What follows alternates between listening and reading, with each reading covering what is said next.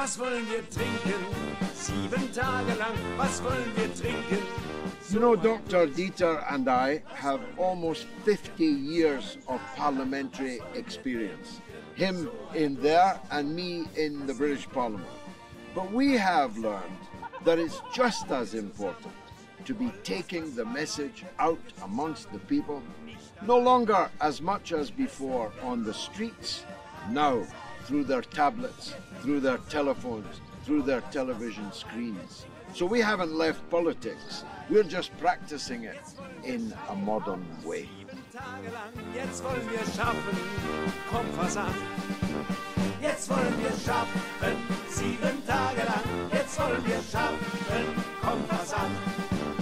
Und das wird keine Plackerei, wir schaffen zusammen. Sieben Tage- Mr. Biden, tear down this wall. Tune in to Moats of Deutsch every Sunday with Dr. Dieter Dehm. Another Preach in the Wall. Modes auf Deutsch, jeden Sonntag, 17 Uhr. Erst müssen wir streiten, keiner weiß wie lang, ja für ein Leben ohne Zwang. Erst müssen wir streiten, keiner weiß wie lang, ja für ein Leben ohne Zwang. Dann kriegt der Frust uns nicht mehr klein, wir kommen zusammen, keiner bleibt allein, wir kämpfen zusammen, nicht allein. Dann kriegt der Frust uns nicht mehr klein, wir kommen zusammen, keiner bleibt allein. Wir kämpfen zusammen, nicht allein. Was sollen wir denken? Sieben Tage lang. Bullshit Storm. Aber nicht bei Moods. Auf Deutsch mit Dr. Dieter Dehn. We don't need no education. Moods. Another breach in the wall. Ja, hallo, liebe Freunde, heute wieder Modes auf Deutsch, Mother of all Talkshows. Die Mutter aller Talkshows, erfunden von unserem George Galloway für Großbritannien. Und ich bin Dieter Dehm und mache Modes auf Deutsch. Hier mit dem Hut noch von George Galloway, den tue ich jetzt weg, das ist meine Referenz. Und mit dem Ebbelwei Bembel aus meiner Heimatstadt Frankfurt am Main. Heute ist unser Titel Deutsches Kriegsopfer Meinungsfreiheit. Und ich habe wieder tolle Gäste. Wir haben den Vizeadmiral AD Kai Achim Schönbach. Wir haben Florian Warwick von den Nachdenkseiten und den großartigen Kabarettisten Helmut Schleich aus der ARD mit seinem wunderbaren Schleichfernsehen immer dort zu sehen. Aber auch da scheint sich jetzt die Uhr dem Ende zuzuneigen. Ich glaube, es ist nur noch eine oder zwei Sendungen zu bewundern mit Helmut Schleich. Also ich denke, wir sollten immer bei der Meinungsfreiheit äh, berücksichtigen, Medien senden das, wofür sie und von wem sie bezahlt sind. Und deswegen spendet uns, damit wir auch eure Meinung verbreiten. Das gilt auch für die, die hier in der Minderheit sind, auch bei den Umfragen und die sich vielleicht nicht vertreten fühlen. Wir vertreten hier Meinungsvielfalt und das ist sozusagen unser rigoroses Prinzip und auch unterschiedliche Meinungen kommen zu Wort. Das werdet ihr nachher merken.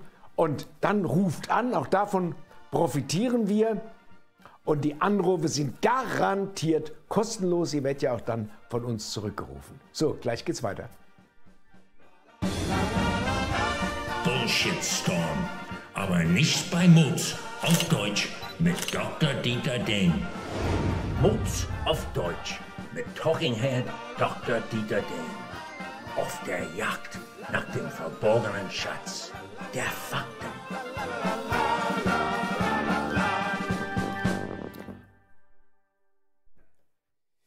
Ja, deutsches Kriegsopfer Meinungsfreiheit.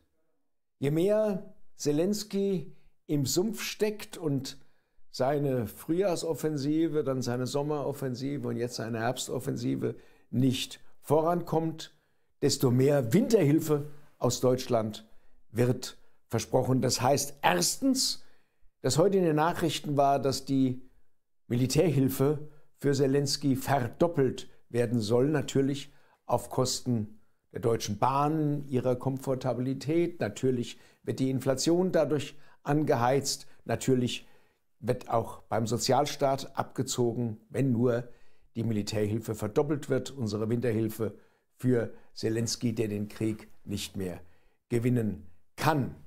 Zweitens heißt es, dass immer mehr Kriegsrhetorik kommt. Wir haben eine Verdopplung der Kriegsrhetorik, tolle Kanzlerreden von Robert Habeck, tolle Kanzlerreden äh, von Boris Pistorius, die sich alle warm laufen, mal Scholz damit zu ersetzen. Und äh, dann haben wir drittens eine Verschärfung des Klimas gegen unsere Meinungsvielfalt in Deutschland. Und da kommt eine überraschende Nachricht aus Hessen. Die CDU hat tatsächlich ihre Koalition mit den Grünen aufgelöst und will dann die Wahlverliererin Nancy Faeser an die Stelle der Grünen setzen. Und das sollte man sich fragen, wie kommt das? Haben vielleicht Boris Rhein und seine hessischen Christdemokraten den Ruf von Sarah Wagenknecht gehört, die Grünen sei die gefährlichste Partei des Bundestages. Und damit meinte Sarah Wagenknecht eben nicht die AfD, sondern die Grünen. Und das will ja schon was heißen. Hm, Glaube ich eher weniger. Oder ist es vielleicht, dass die Grünen in ihrem Überkompensationsdrall sich von ihrer ganzen Vergangenheit als Friedenspartei jetzt mal richtig drastisch loszusprechen, überzogen haben, dass sie überzogen haben mit dem Gendern, dass sie überzogen haben mit ihrer Panikmache in Sachen Klima, dass sie überzogen haben, äh, auch in der Frage der Umdeutung von Geschlechtern, dass sie überzogen haben in Bezug auf den Gaza, wie jetzt Robert Habeck es gemacht hat mit dem Wirtschaftskrieg gegen China und zu deutlich geworden sind, weil sie glauben, sie haben die schönen Umfrage- und Wahlergebnisse und können sich das leisten. Die CDU sagt, nicht so plump, nicht so deutlich, das muss etwas besser kaschiert werden. Ist das vielleicht der Grund? Also in jedem Falle ist die Koalition in Hessen perdu schwarz-grün und dafür kommt schwarz-rot, was wir ja in der Bundesregierung bis vor kurzem schon hatten.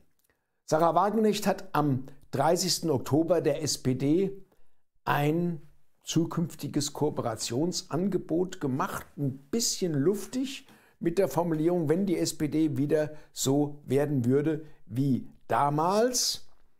Nur was ist mit damals gemeint? War das Rudolf Scharping? War das Gerhard Schröder?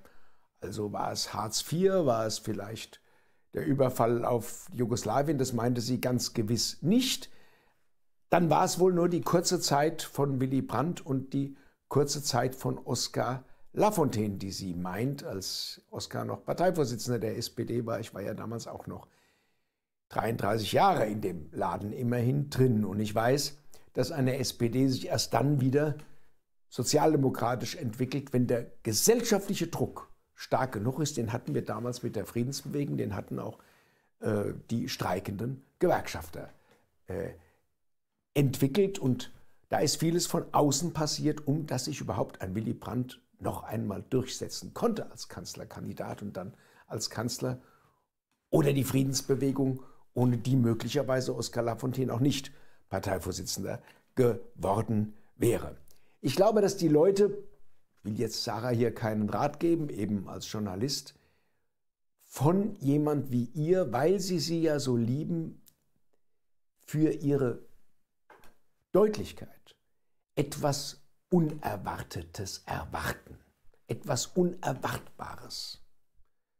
Und die Fixierung auf die SPD, also der SPD, Koalitionsangebote zu machen, würde das einfache Rechenspiel bringen. Also Sarah hätte jetzt, sagen wir mal, 12 Prozent, die SPD hätte auch 12 Prozent, das sind immer noch 25 Prozent bei einer Bundestagswahl, das ist immer noch keine Mehrheit. Also müsste man doch ein Angebot machen an alle die auf der Grundlage des Grundgesetzes politisch tätig sind. Und da erinnere ich mich an einen bedeutenden Kopf, der mir in meinem Leben sehr viel Neues und Unerwartetes gebracht hat, der Kommunistenführer Enrico Berlinguer, der in Italien sich losgelöst hat, 1973 von der Fixierung der Kommunistischen Partei Italiens auf die Sozialdemokraten unter einem gewissen Benito Craxi und dann eben eine Offerte an die gesamte Gesellschaft und alle Parteien gemacht hat, mit ihm zusammenzuarbeiten. Und dann wurde die Kommunistische Partei mit diesem Kurs die stärkste Partei Italiens, stärker als die Christdemokraten. Und dann machte er vor 1978 ein Angebot an die Christdemokraten unter ihrem Parteiführer Aldo Moro zu einem historischen Kompromiss, so hieß das damals. Das hat mich tief beeindruckt, also sich loszulösen von der sozialdemokratischen Fixierung und der gesamten Gesellschaft und auch den Christdemokraten ein Angebot zu machen. Aldo Moro und die Christdemokraten haben das damals jedenfalls äh, akzeptiert und beschlossen, in Koalitionsgespräche einzutreten. Und kurz darauf wurde 1978 Aldo Moro im Kofferraum eines Autos ermordet aufgefunden. Vermutlich war es Claudio, der ihn ermordet hat, eine, ein Auslandsableger des CIA in Italien. In jedem Falle ist damals ein großer Traum zu Bruch gegangen. 1973 hatte das Enrico Berlinguer formuliert, das war das Jahr des Chile-Putschs. Das haben wir ja in diesem Jahr auch bei Moz auf Deutsch begangen und auch uns erinnert an den Putsch von Pinochet gegen den demokratisch gewählten Präsidenten Allende. Und in jedem Falle ist dann dieser Traum weiterentwickelt worden. Mit der Ermordung Aldo Moro war es dann weg mit diesem Traum. Nun, äh, ich habe äh, natürlich im Auge, dass wir das immer historisch mitbedenken sollten. Wir müssen immer auch an die Geschichte denken, wenn wir nach vorne uns entwickeln wollten. Aber jetzt haben wir den 12. November heute 2023 und die Medien jubeln jetzt stündlich. Es soll dieser Tag eingefriedet werden als Gedenktag und Feiertag und Feuertag für die Bundeswehr, für die Gründung der Bundeswehr, die jedenfalls äh, am 12. November 1955 gegründet wurde, gegen den Widerstand vieler Menschen, die in Deutschland diese Wiederbewaffnung nicht wollten. In jedem Falle kriegen Künstlerinnen und Künstler, aber auch andere Wissenschaftler, Historiker, Journalisten mit, was dieser Feier- und Feuertag bedeuten könnte für sie an Zunahme von Cancel Culture, also unter dem allgemeinen Druck, den Militäretat zu erhöhen, nach innen die Repression zu verschärfen. Ich kenne das selbst, diesen Mechanismus, was äh, auch viele Kulturschaffende spüren. Lisa Fitz hat ihren Job verloren. Uwe Steimle, dem, Uwe Steimle, den wir am letzten, beim letzten Mal bei Mozart Deutsch hatten. Äh, Jens Fischer-Rothrian wurde in Trier gecancelt, sollte da nicht auftreten und äh, viele andere mehr. Äh, und ich weiß ungefähr auch, wie das funktioniert. Das funktioniert natürlich mit diesen dann antideutsch daherkommenden Bots, die sofort, Herr Lehrer, Herr Lehrer, ich weiß was, dann die Hallen anschreiben, die Kulturdezenten der Städte anschreiben und sagen, der darf da nicht auftreten. Also wenn das bei mir so ist, ich habe irgendwo Verträge gehabt über ein Musical, was ich geschrieben habe, kam Druck auf den Geschäftsführer und Intendanten des Theaters. Wenn ich irgendwo etwas anbiete, kommen diese Anrufe. Habt ihr mal die Wikipedia-Einträge von Dieter Dehm gesehen? Und so geht das natürlich auch mit den meisten Kulturschaffenden. Und dann sind einige eingeschüchtert. Einschüchterung, äh, das ist so ungefähr das, was im Mittelalter der Hexenhammer mal war. Am Dienstag werden wir über den Einfluss von Geheimdiensten bei dieser Einschüchterung auch sprechen bei Paul Brandenburg in seinem Programm unter dem Titel Stasi, Spitzel und Spione über die Zersetzung im Inneren der Meinungsfreiheit. Und das wird, glaube ich, auch eine spannende Diskussion. Deswegen kann ich mir hier das ein bisschen ersparen. Jedenfalls wurde sogar der frühere Vorsitzende der Labour Party, Jeremy Corbyn, aus der Volksbühne in Berlin ausgeladen, war dort eingeladen von der Rosa-Luxemburg-Stiftung unter diesem Druck, er sei ein Antisemit, weil er sich pro-palästinensisch geäußert hatte. Daniele Ganser kann ein Lied davon singen, Ulrike Gero kann ein Lied davon singen. Einschüchterung ist eben das Mittel, mit dem probat gearbeitet wird auf der anderen Seite. Und im allgemeinen Kriegstaumel kommt dann Boris Pistorius mit seiner Parole wir müssen wieder kriegstüchtig werden. Und Frau Baerbock ergänzt das. Wir dürften jetzt nicht kriegsmüde werden, bloß jetzt nicht kriegsmüde. Erinnert das vielleicht an irgendwas? Jedenfalls ähm, müssen wir immer dran denken. Eine Friedensbewegung am 25. November ist ja eine große Demonstration in Berlin, ist immer auch nur so stark, soweit neben den Kulturschaffenden, neben den Wissenschaftlern auch Menschen, die ganz normal im Betrieb arbeiten, daran teilnehmen. Und deswegen denkt daran, wenn ihr jetzt irgendwelche schlechten Parolen hört zu den Bahnstreiks von Verdi, denkt daran, wenn ihr irgendwelche Schlechtreden hört gegenüber den Forderungen der Eisenbahner, der Lokführergewerkschaft, die Arbeitszeitverkürzungen möchten. Wer möchte schon von einem übermüdeten Lokführer gefahren werden, äh, dass das immer auch der Einschüchterung gilt. Denn die Einschüchterung wird auch im Betrieb bekämpft oder sie findet auch im Betrieb statt. Also nicht nur in der Kneipe, am Stammtisch oder beim Gespräch in der U-Bahn, sondern eben auch im Betrieb. Auch hier muss Meinungsfreiheit erkämpft und verteidigt werden.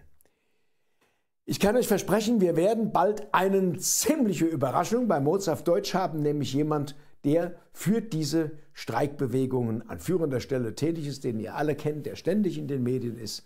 Ich freue mich auf dieses Gespräch, sag aber jetzt erstmal den Namen noch nicht. Wir stehen jetzt hier jedenfalls hier bei Mozart Deutsch für Meinungsvielfalt, für Rückgrat und das auch in den sozialen Fragen und auch in den Lohnfragen.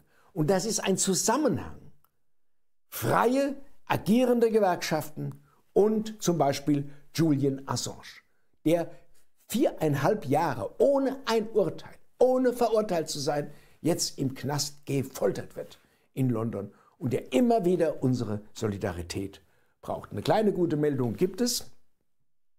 Carles Puigdemont, Regionalpräsident in Katalonien, äh, ist jetzt auf dem Wege, in der, im Rahmen der Regierungsbildung in Spanien seine Freiheit wiederzubekommen. Man muss sich das mal vorstellen. Der Mann ist gewählt als Europaabgeordneter und dann sagen die ihm, ja, du wirst aber kein Europaabgeordneter, du musst dir in die Madrid erstmal deinen Ausweis abholen und wenn du kommst, dann sperren wir dich ein für ein paar Jahre. Jetzt kann er möglicherweise mit der Regierungsbildung der Regierung Sanchez in Spanien seinen Ausweis bekommen und dann endlich sein ihm zustehendes Recht als Europaabgeordneter auch äh, dann ähm, wahrnehmen im Europäischen Parlament. Also ich war ja bei ihm zusammen mit der Abgeordneten Nastic.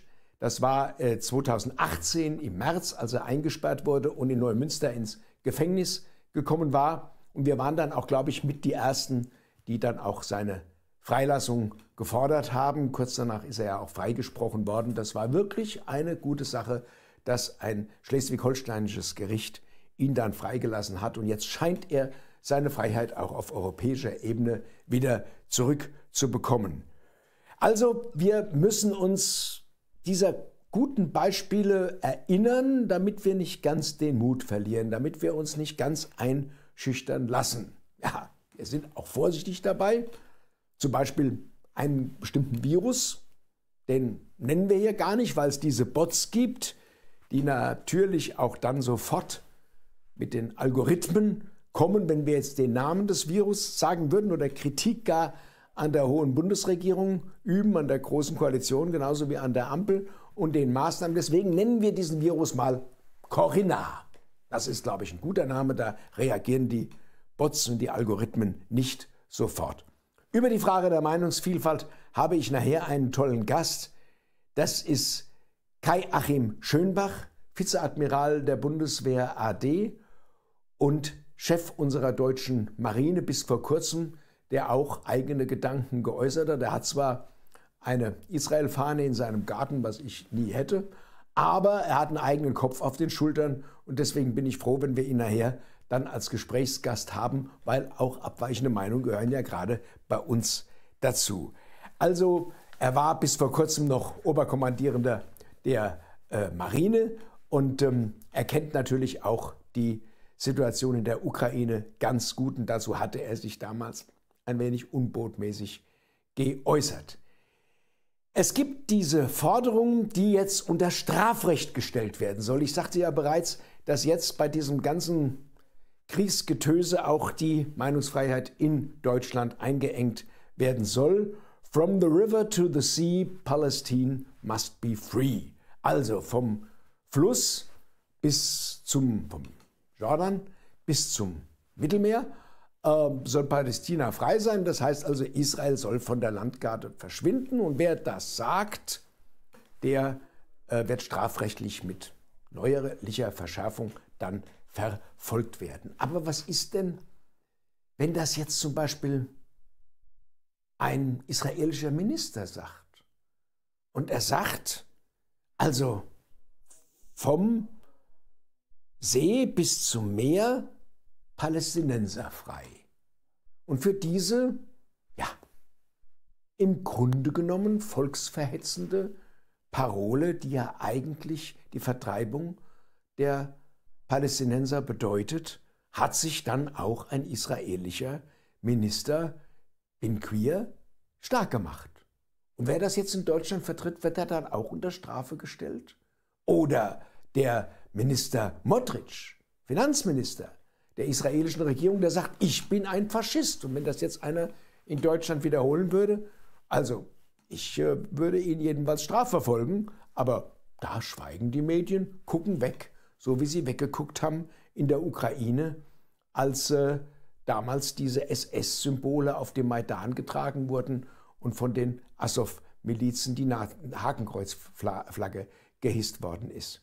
Pistorius sagt im Interview, in seinem tollen Kanzlerkriegsinterview auf ZDF direkt, dass äh, ja, wir wieder kriegstüchtig werden müssen und eine ganze Brigade von Medienmaden made in Germany jubelt und an aller vorderster Front sind dabei Leitartikler, Sicherheitsexperten, sogenannte ParteiforscherInnen, TalkmasterInnen und natürlich alle möglichen Mikrofonhaltungsjournalisten, die dann sagen, ist das jetzt der neue Kanzler, der da spricht? Ebenso auch Robert Habecks Kriegsrede, ist das jetzt ein neuer Kanzler, der da spricht? Und die ZDF-Hauptstadtkorrespondentin Ines Drams hört sich an wie die Tagesparolenverbreiterin der Bundeswehr Pressestelle. Ich zitiere, Deutschland, seine Politik, seine Gesellschaft und seine Bundeswehr müssen kriegstüchtig werden? Ja, das müssen sie. Pistorius hat sich getraut, eine unbequeme Wahrheit auszusprechen. Es braucht eine neue Wehrhaftigkeit im Denken und Handeln. Soweit die Hauptstadtkorrespondentin Ines Tramp. Historius Wahrhaftigkeit in der Wehrhaftigkeit haben wir, das ist Helmut Schleich, Kabarettist aus Bayern, Michael Letz, Komponist, Musiker und ich ein Lied gedichtet und geschrieben, das nachher auch in der Sendung von Helmut Schleich vorgetragen werden wird. Zum Gaza ist die Medienresonanz ähnlich vorgeprägt. Und wir haben gefragt, in der Umfrage gefragt, scheinen Ihnen die meisten deutschen Medien zum Gaza-Konflikt eher einseitig oder eher umfassend und bis eben ist das Ergebnis ziemlich eindeutig.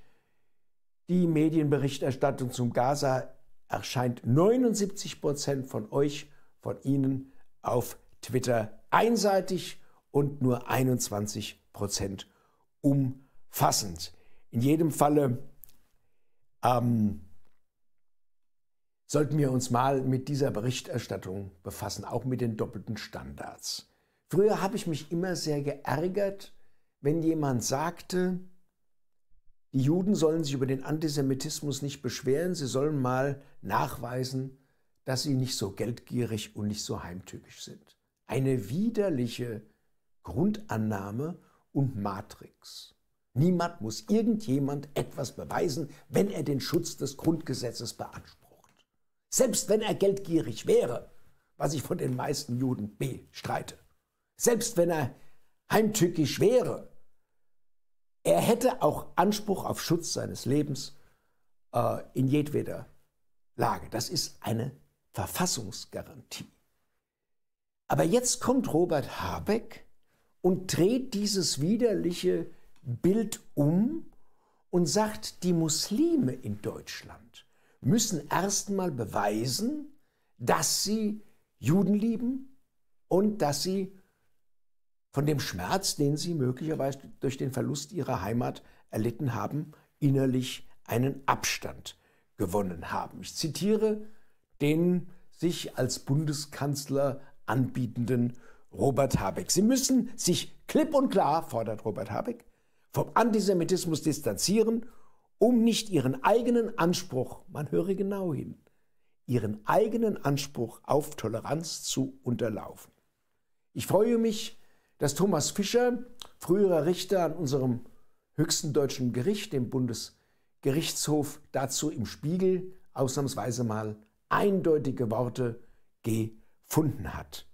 Und er sagt inhaltlich dort sehr klar, niemand muss irgendjemand irgendetwas beweisen, um sein Leben geschützt zu bekommen. Auch die Muslime nicht. Und schon gar nicht diesem Robert Habeck. Es gibt überhaupt keinen Anspruch.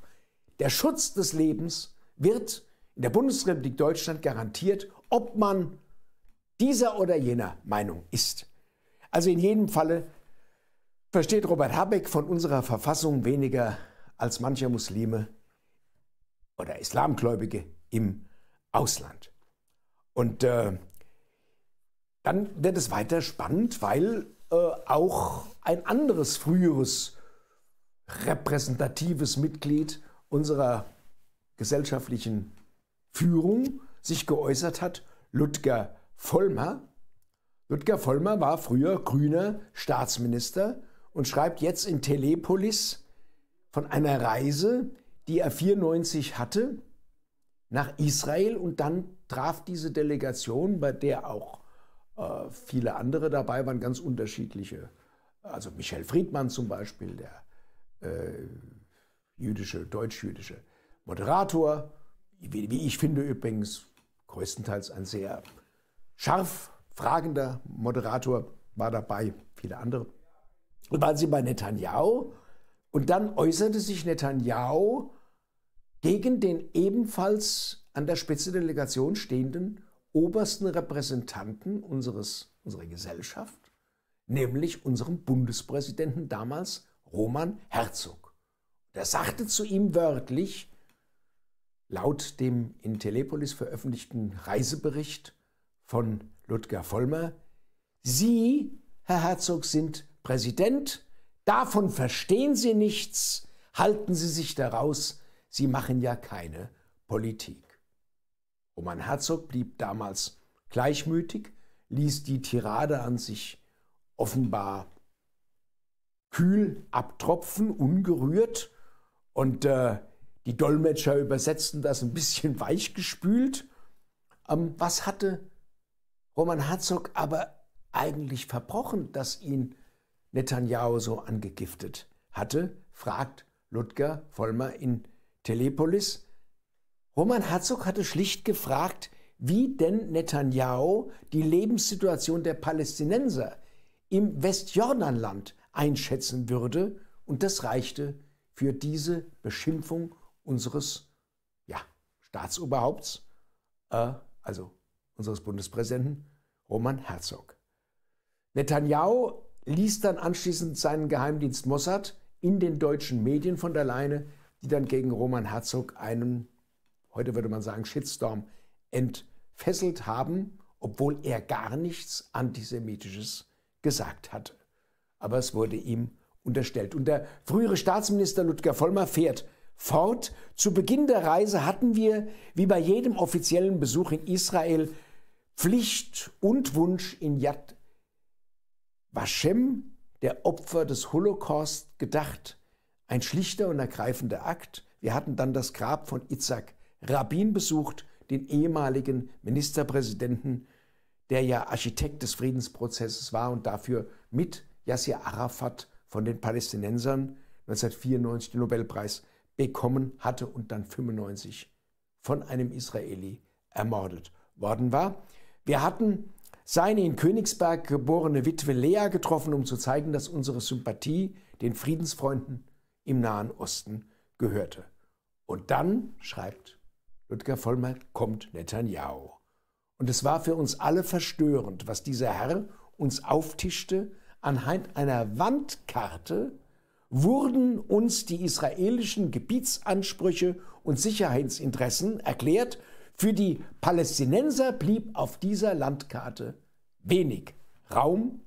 Die Deutschen, nachdrücklich an ihre historische Verantwortung erinnernd, verlangte Netanyahu, sollten ein Szenario, bei dem die Palästinenser keinen Platz mehr auf dem Boden hatten, kommentarlos hinnehmen. In den Nachdenkseiten von gestern bemerkt Leserbriefschreiber GK, er will seinen ganzen Namen dort nicht veröffentlichen, dann auch zu diesen doppelten Standards. Die hierzulande verehrte Assow-Brigade Zelenskis verehrt nun seinerseits den Hitler-Kollaborateur Stefan Bandera, der für die Ermordung von 10.000 Juden, Zehntausenden von Juden und ca. 100.000 Polen verantwortlich war.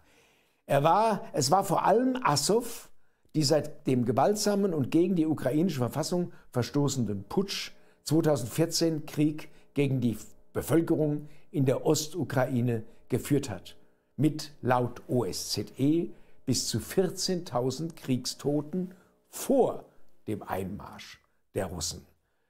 Dies alles hat das Baerbock-Ministerium jedoch nicht davon abgehalten, der Ehefrau des Azov-Kommandanten in Berlin den roten Teppich auszurollen.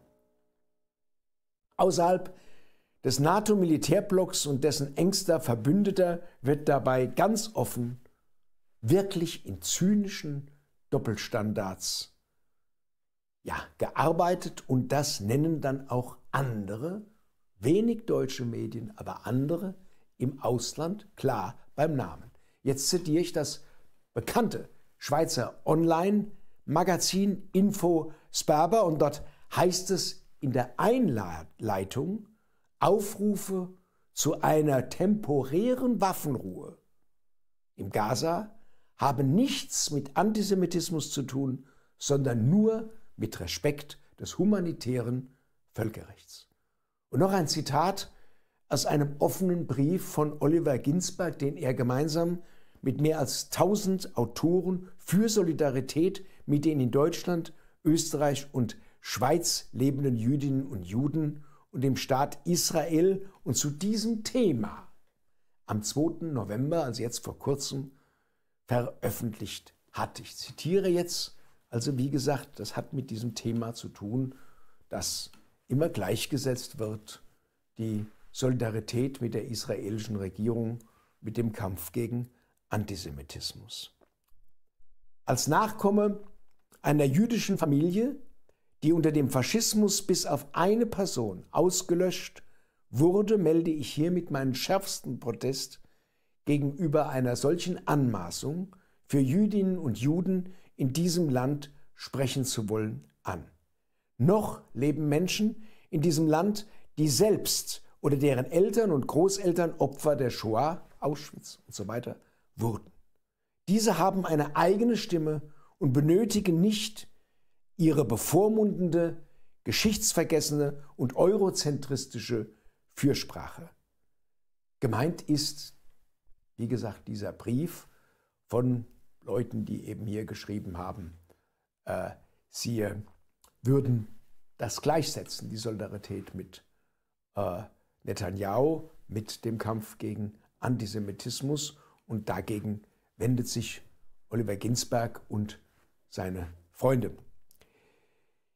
Im Übrigen hat auch der Staat Israel nicht das Recht für uns zu sprechen. Dieser Staat ist selbst das Ergebnis einer Kolonialisierungsgeschichte und Ideologie, die ihrem völkisch-chauvinistischen Gepräge den rassistischen Kolonialisierungs- und Missionierungsbemühungen früherer Jahrhunderte um wenig nachsteht.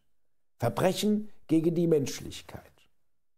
Hören Sie also auf, in moralischer Überheblichkeit zu schwelgen, Sie haben nichts, rein gar nichts aus der Geschichte der Shoah gelernt. Folgen Sie lieber Abigail Martin, Miko Pellet, Norman Finkelstein, Gabor Mate, Noam Chomsky, welche zu der Minderheit derjenigen gehören, welche diesen Konflikt in seinen wahren historischen und moralischen Kontext stellen. Und bitte, bitte, verschonen Sie uns mit Ihren jämmerlichen Krokodilstränen. Und wir fügen noch hinzu, was wir ja auch auf Weltnetz TV haben, dass äh, Mosche Zuckermann, Professor Dr. Mosche Zuckermann auch zu denen gehört, die vieles aufklären, was eben immer wieder versucht wird, in diese Gleichung Netanyahu sei identisch mit dem Kampf gegen Antisemitismus unterschwellig und oberschwellig einfließt. Wir machen gleich weiter. Ich hoffe, dass dieser Brief von Oliver Ginsberg einem jüdischen Nachkommen von KZ-Opfern ihnen auch, wie mir, einen Kloß in den Hals gebracht hat. Das weiche Wasser bricht den Stein. Die Rüstung sitzt am Tisch der Welt und Kinder, die vor Hunger schreien. Für Waffen fließt das große Geld. Doch weiches Wasser bricht den Stein. Ja, das ist meine neue CD, Das ein gutes Deutschland blühe.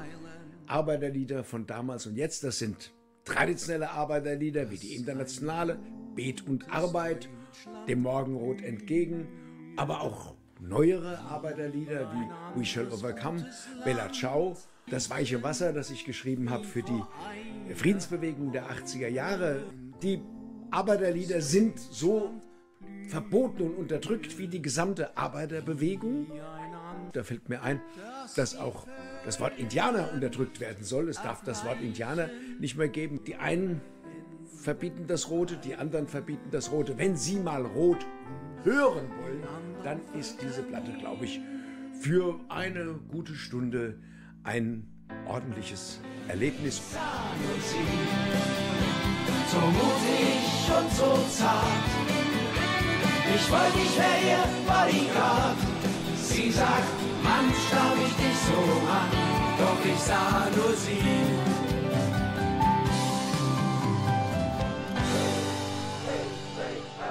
Und der Reinerlös dieser CD geht an die Nachdenkseiten dieses hervorragende aufklärerische Organ, dem jetzt äh, der Staat die Gemeinnützigkeit entzogen hat, also eine Unterstützung auch für die Gegenöffentlichkeit äh, in unserem Bella Land. Ciao, Bella Ciao, Bella Ciao, Ciao, Ciao. Es war so warm hier an deinem Arm hier, da draußen werd ich bald schon frieren.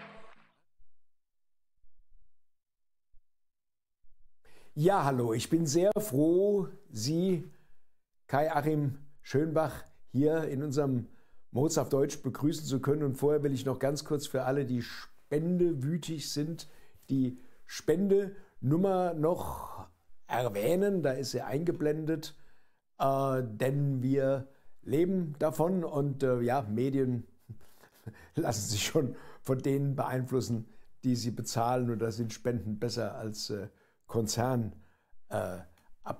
Äh, und dann nochmal die Telefonnummer für all diejenigen, die sich nachher dann in die Telefondiskussion auch zum jetzigen Gast einschalten wollen. Kai Achim Schönbach, bevor wir ganz kurz dahin kommen, was äh, sozusagen das AD, Vizeadmiral AD, ausmacht. Vielleicht an Sie die Frage zu dem, was Sie eben zum Gaza gehört haben. Da stehen ja ganz unterschiedliche Meinungen zwischen Ihnen und uns. Was ist Ihre Einschätzung? Sie haben ja eine Israel-Fahne in Ihrem Garten, habe ich vorhin schon gesagt. Und vielleicht widersprechen Sie mir zu dem, was ich da vorher gesagt habe. Vielen Dank für die Einladung. Ähm, und ähm, ja, also es ist übrigens nicht nur die Israel-Fahne, sondern auch eine deutsche Fahne, die habe ich so zusammengeklappt ähm, aus Solidarität. Also ganz konkret zu, zu Gaza. Jetzt, ich habe allerdings die letzten zehn Minuten nur mitbekommen. Ich weiß nicht, ob Sie davor noch was gesagt hatten. Ähm, und ich habe jetzt gerade aktuell noch mal die Nachrichten gesehen. Ähm, ich gehe mal, ich komme mal gleich auf den Punkt, weil ich annehmen darf, dass Sie darauf ja auch hinaus wollen. Also ich verstehe, akzeptiere und befürworte das Selbstverteidigungsrecht ähm, Israels Sie werden mir sicherlich entgegenlegen, dass das äh, Selbstverteidigungsrecht äh, auch Grenzen hat.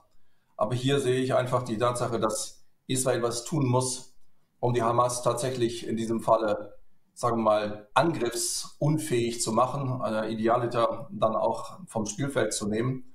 Aber gleichzeitig natürlich alles dafür tun muss. Und ich habe ja nur noch immer noch aus meiner alten Zeit noch gute Verbindungen auch nach Israel, bin fast jedes Jahr einmal, aber habe eben auch Soldaten, die ich gut kenne die man einfach mal befragen kann, die alles dafür tun, unabhängig davon, ob das von außen so wahrgenommen wird, alles davon tun, um so weit wie möglich die Kollateralschäden einzuhalten. Aber ganz auszuschließen ist das nicht.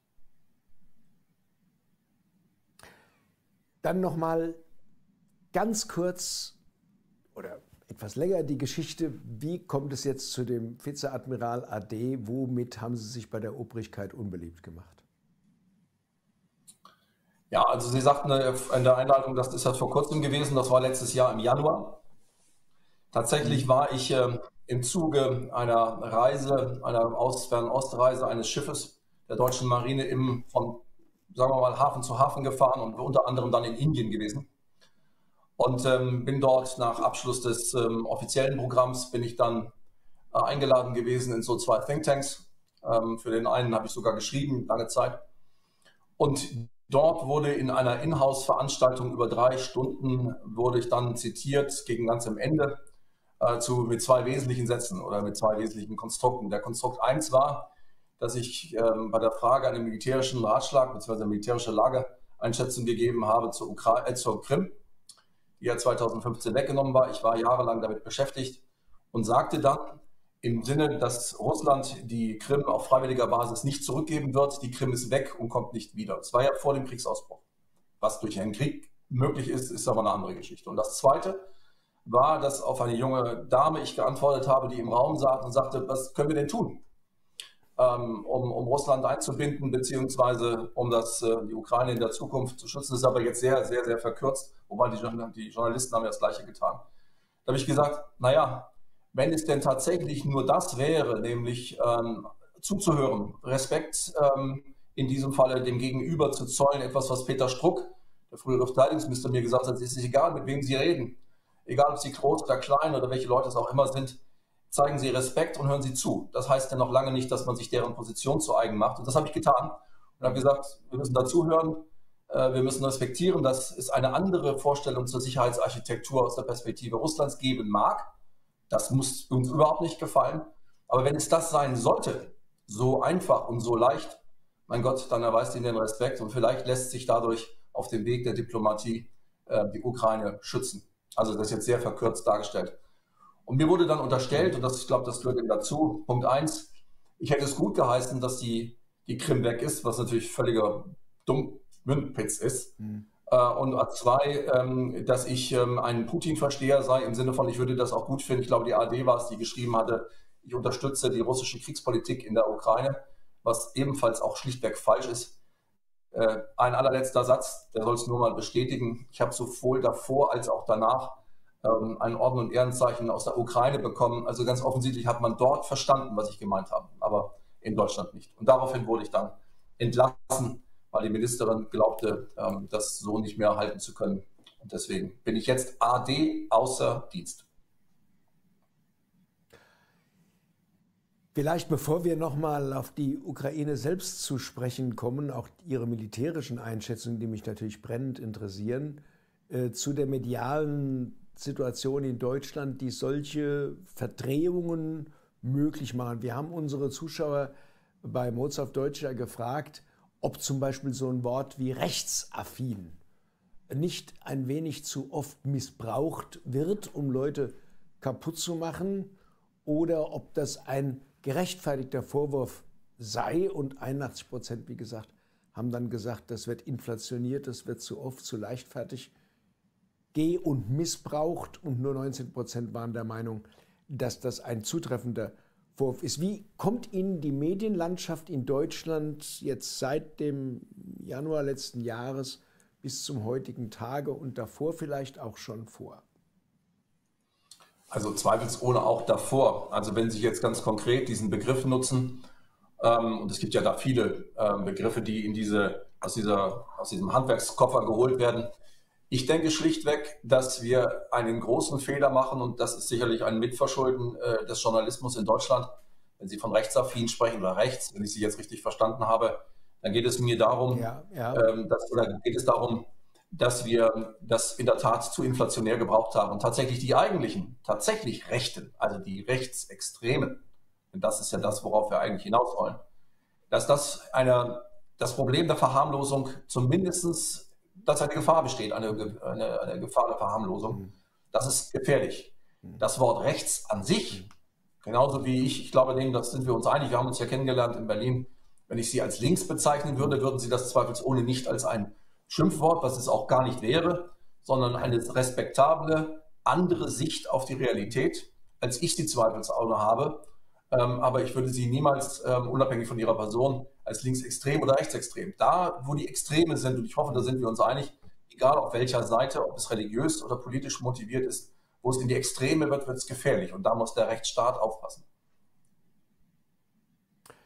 Ich habe mit vielen Gästen bei Mozart Deutsch in der Vergangenheit diskutiert und es kam so überwiegend die Tendenz, dass die Medien auf einem gefährlichen Weg des moralischen, ethischen und intellektuellen Verfalls seien. Haben Sie in Ihrem konkreten Fall und vielleicht auch bei naheliegenden ähnlichen Eindruck? Also natürlich in meinem ganz konkreten Fall schon, selbstverständlich. Ich glaube, das wird mir auch keiner übel nehmen, dass ich die Dinge natürlich aus einem sehr persönlichen Perspektive und persönlichen Sprung sehe. Ähm, ohne, ohne mich nur noch da zu sehr in den Fokus zu nehmen, aber auch andere.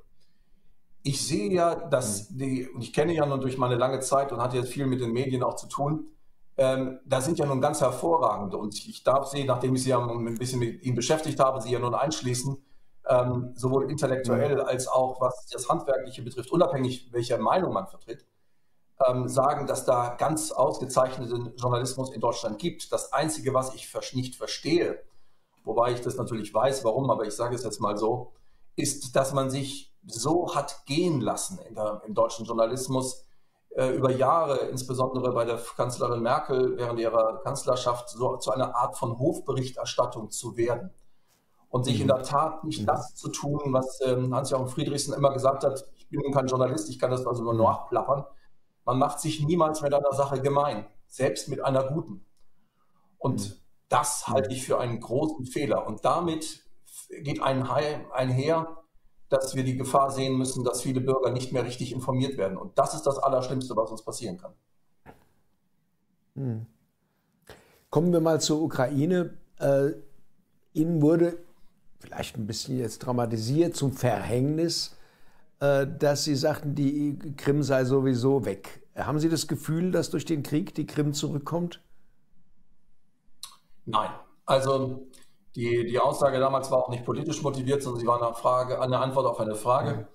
Ähm, und die Eingliederung der Halbinsel Krim in ein entsprechendes Republiksystem der Russischen Föderation war soweit fortgeschritten, einschließlich einer Umfrage ähm, der Bevölkerung vor Ort, wie immer man das auch persönlich äh, einschätzt. Sie, und das haben mir ja auch viele, auch Ihre Kollegen Journalisten gesagt, dass es ähm, auch in manchen Chefredaktionen äh, wehtut, dass ich auch noch Recht behalten habe. Ähm, aber bitte nicht, dass ich mich darüber freuen würde, weiß Gott nicht.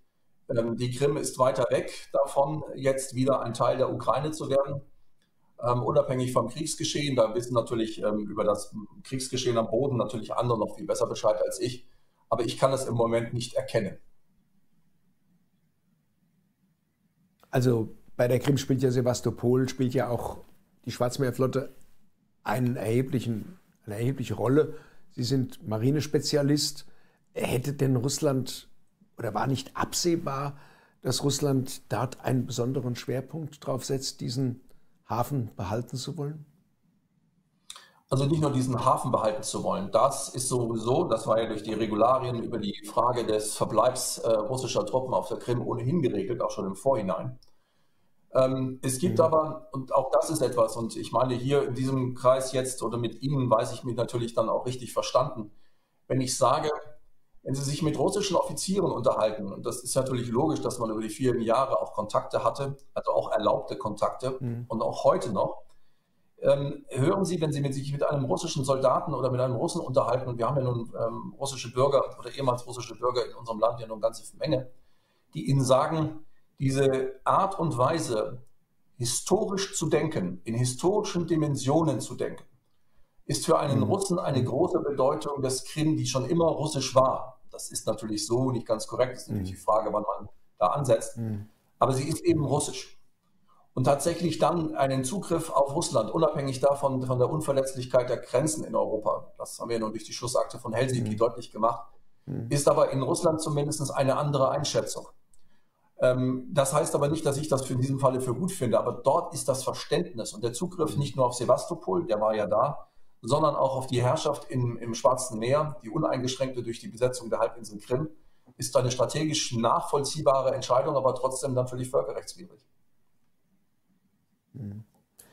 Wir haben in fast jeder der letzten Sendungen eine militärische Expertise gehabt, zu denen immer wieder hier auch in den Medien sehr betonten militärischen Erfolgen der Ukraine gegen die Russen, die sich dann im Lichte mancher Expertisen als nicht so nachhaltig herausgestellt hat. Jetzt haben wir mit Ihnen einen Top-Mann äh, in der militärischen Einschätzung. Vielleicht geben Sie ganz kurz auch etwas wieder dazu. Also ich denke, ähm, wenn Sie das und ich sage mal, wir sind ja Außenstehende. Ähm, wir sind nicht vor Ort. Wir können also letzten mhm. Endes nur versuchen, über die unterschiedlichen Quellen äh, uns ein Bild zu machen. Und derjenige, der sich sag mal über viele Jahrzehnte damit beschäftigt, hat dann vielleicht noch mit seiner eigenen Analysefähigkeit in diesem Aspekt nur ein bisschen Zugriff. Aber ich sage es mal ganz platt, wenn ich über die vielen Monate der vergangenen Monate gehört habe, über die Erfolge der ukrainischen Armee, dann müsste sie eigentlich schon vor Moskau stehen. Das ist aber nicht der Fall. Wir müssen uns immer ganz klar machen vor Ort, es handelt sich um kleinste und minimalste mal ein Dorf hinein bis zur Mitte des Dorfes und wieder raus. Das heißt, insgesamt sind die Bewegungen relativ gering. Die russische Föderation oder die russische Armee hat es, und das ist sie, das kann sie sehr gut, das hat sie im Ersten Weltkrieg nicht ganz so, aber im Zweiten Weltkrieg stark gewiesen und sie kann es auch heute.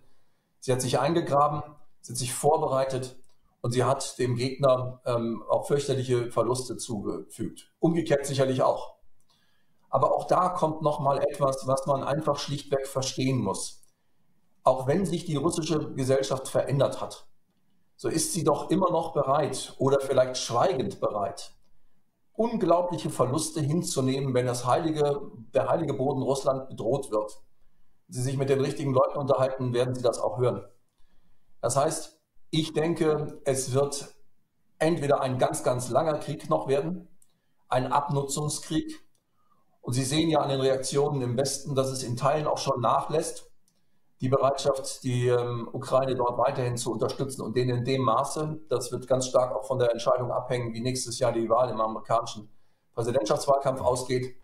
Das heißt, es muss jetzt schnell was passieren aus der Perspektive der Ukraine. Ich bleibe aber mhm. dann nochmal für mich der letzten Satz. Also Punkt eins: Ich denke, das ist ein ein zerfahrenes Pad. Es bewegt sich nicht viel, wenn Sie die Karten sehen. Man kann sich das ja überall runterladen. Und es kostet am Ende, und das habe ich vor einem halben Jahr mal in dem Interview gesagt, man muss auch als Verantwortlicher auf der Seite sein, der natürlich moralisch im Recht ist. Und da sind die Ukraine im moralischen Recht, da gibt es ja gar keine Frage. Muss man aber irgendwann fragen, wie viele tote Menschen sind es noch wert? Wie viele Tote, hm. wie viel Vergewaltigung, wie viel Mord und Totschlag immer noch nehmen? Diese Völker sind sicherlich sehr viel robuster, als das vielleicht bei uns heutzutage der Fall ist. Aber ich denke, es muss darüber nachgedacht werden, wie viel man noch opfern will, um am Ende moralisch im Recht zu sein oder ob es andere Wege gibt. Und ich, aller, aller, allerletzter Satz dazu, meinem langen Monolog, was mir überhaupt zu wenig kommt, ist das Thema Diplomatie.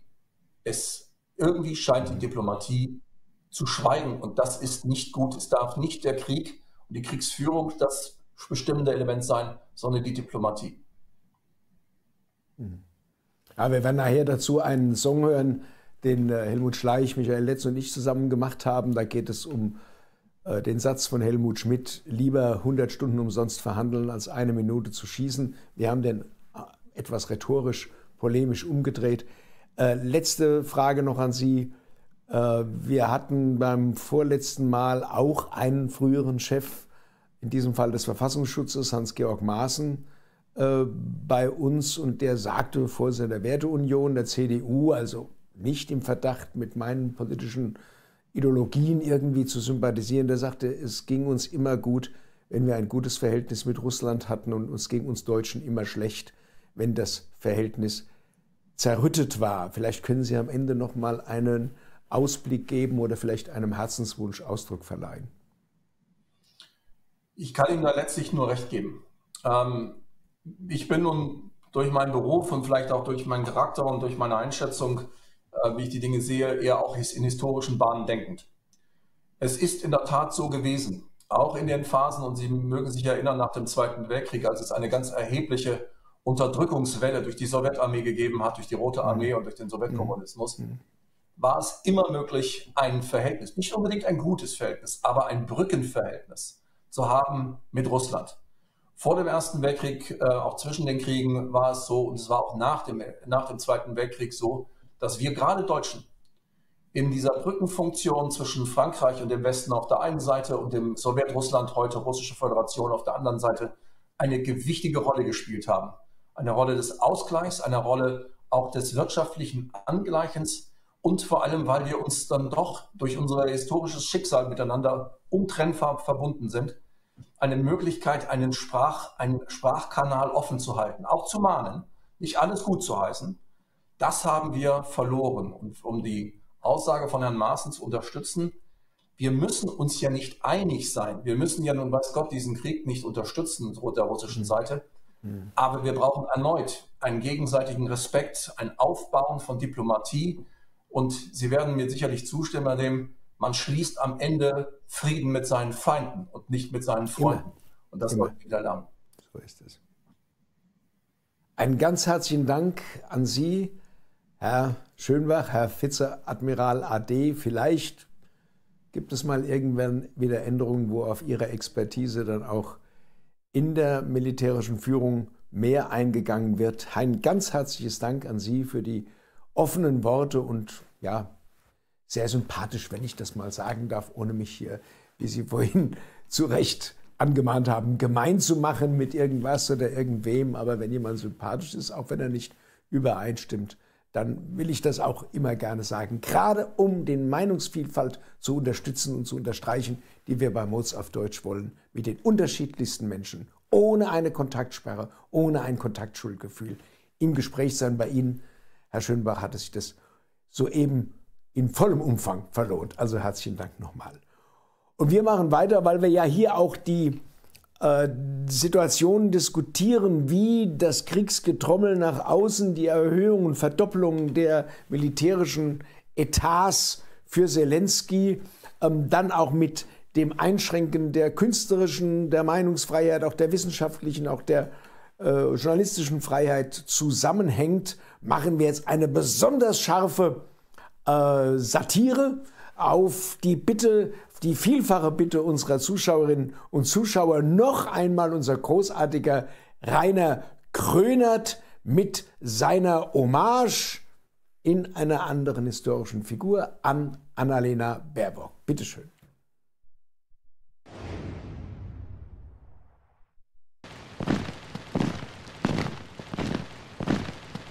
Volksgenossinnen und Volksgenossen.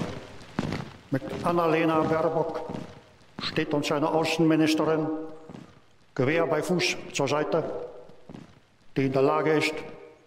eine Kriegserklärung ohne großes Lamento aus dem Ärmel zu schütteln. Wir führen einen Krieg gegen Russland.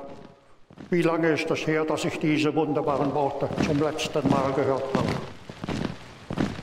Annalena Baerbock zögert nicht, zaudert nicht, quasselt nicht unnötig um den heißen Brei herum, sondern sagt offen und in aller Härte, wo es lang zu gehen hat. Und die Fahne flattert ihr voran, die Regenbogenfahne. Recht hat sie, denn die Regenbogenfahne schließt niemanden von der Kriegsbeteiligung aus. Alle denkbaren Variationen an Geschlechtern, unabhängig von ihren Neigungen und Vorlieben, dürfen mitmachen. Das ist doch die wahrhaftigste Vorstellung eines totalen Krieges. Hätte ich doch nur damals meiner tapferen gleichgeschlechtlichen SA entgegen aller antisodomitischen Anwürfe aus den kleingeistigen Lagern der NSDAP in Treue fest die Stange gehalten. Es hätte alles ganz anders kommen können. Hand in Hand fürs Vaterland. Brust an Brust voll Kampfeslust. Und Wange an Wange, so wird's dem Russen bange.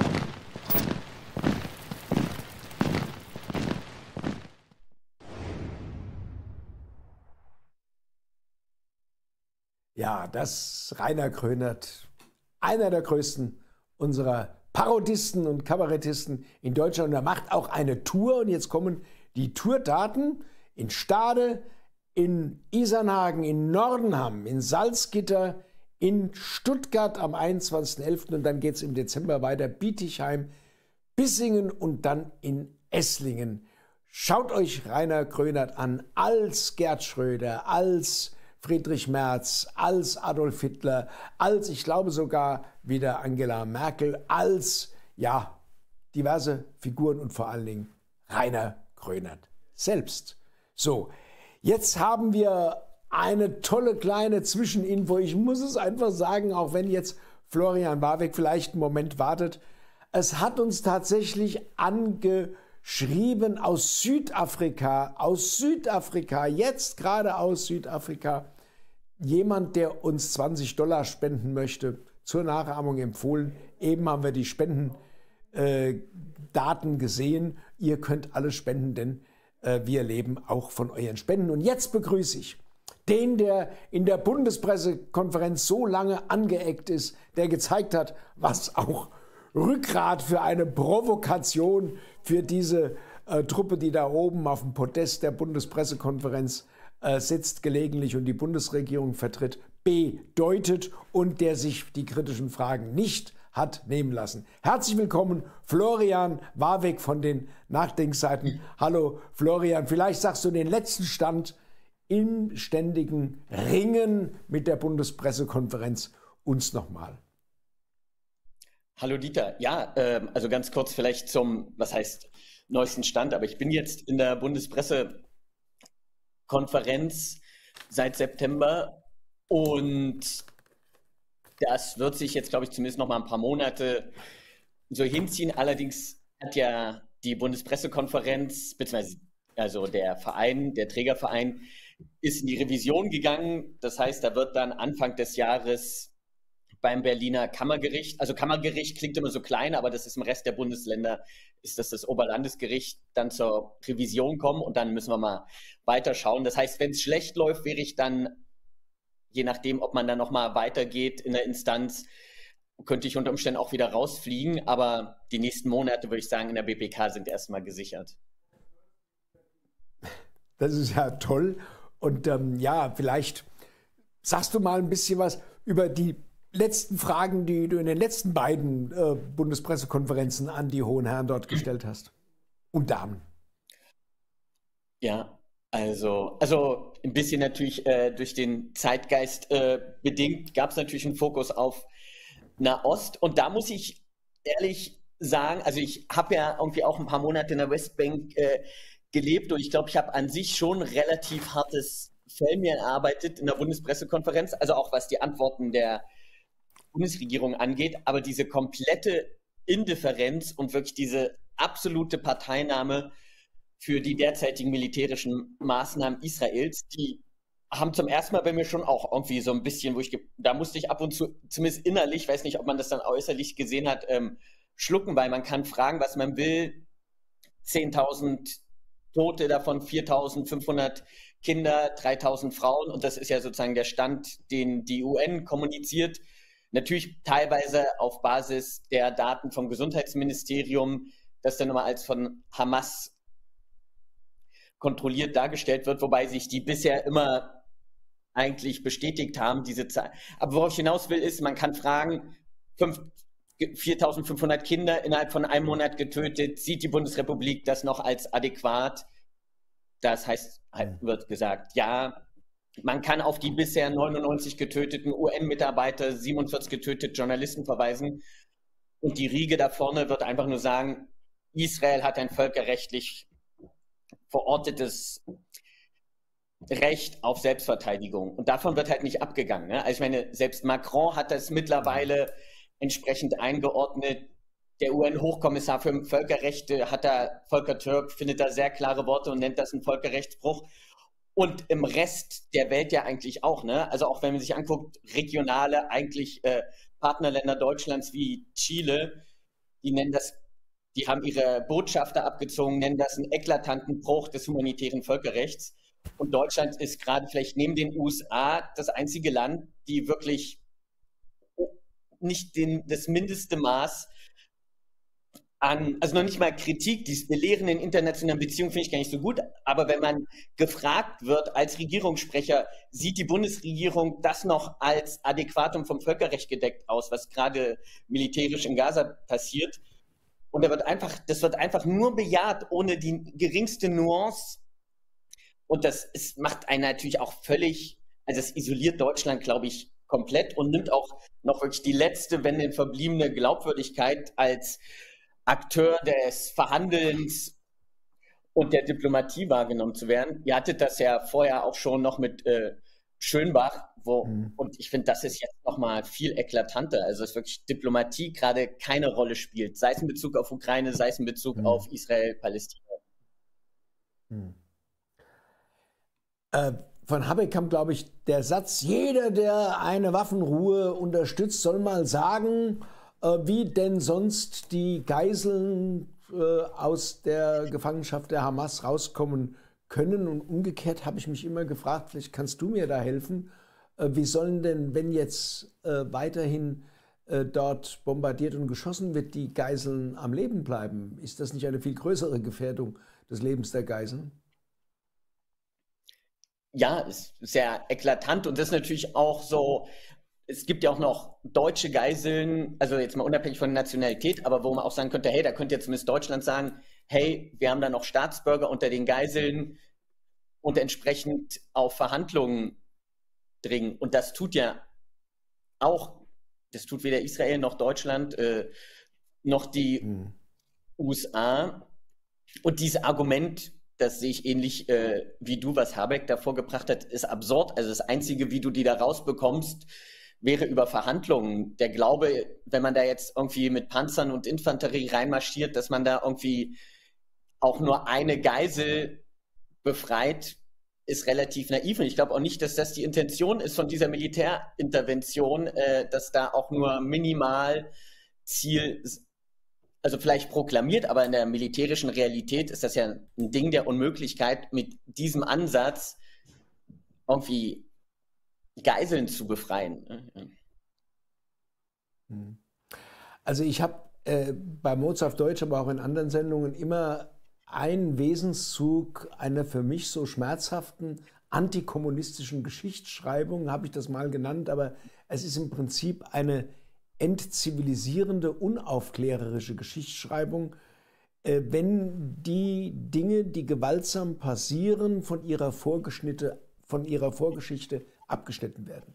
Also ich habe das immer mit der Guillotine bei der Französischen Revolution, wo man dann abschneidet die 200 Jahre Blutbäder, die diese äh, absolutistische, feudalistische Königsherrschaft bewirkt hat in unglaublichen Diktaturen. Ich habe das auch in äh, Bezug auf die Oktoberrevolution gesagt. Da muss man dann eben auch die Vorgeschichte sehen, wie viele Millionen Menschen dahin gemetzelt wurden in Kriegen und äh, gegen was die sich da erhoben haben.